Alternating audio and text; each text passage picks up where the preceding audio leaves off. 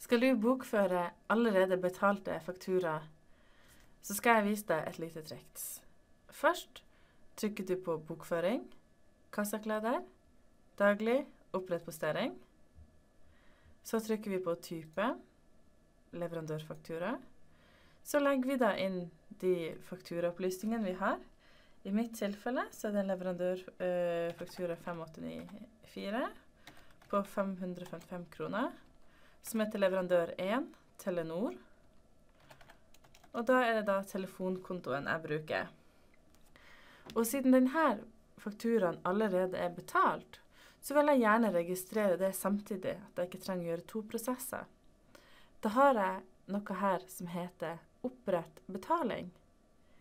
Når jeg huker av den, så får jeg opp her betalingsdato. Da kan jeg si her OK, jeg betalte den denne dagen. Og jeg betalte den enten med kontanter, kassakreditt eller bankinnskudd.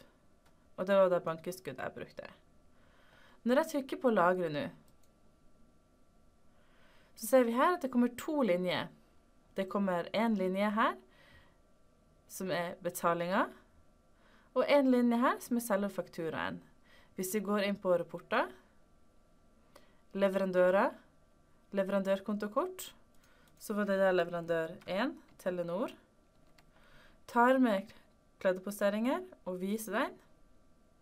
Så ser vi her at vi har både registrert fakturaen og betalinga samtidig. Har du flere spørsmål, så kan du sjekke de andre filmene våre, eller se i Ekopedia.